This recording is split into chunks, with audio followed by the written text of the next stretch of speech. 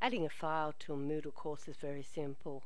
Go to Add an Activity or Resource, down to Resources where you'll find the file, click Add.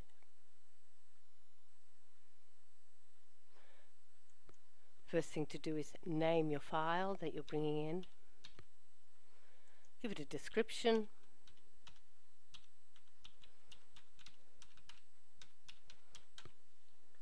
Come down to the page a little bit to the Contents section. Click Add. Browse your computer for the file. Upload the file. Now there's another way you can actually bring in a file as well and that is the drop and drag method. So you can open up a file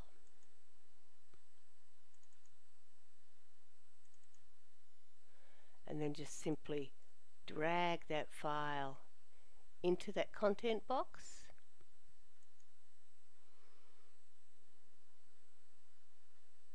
it's going to take a few seconds to come in so it's in there now then we can actually go and save and return to the course. And we now have our file in there. It's that simple.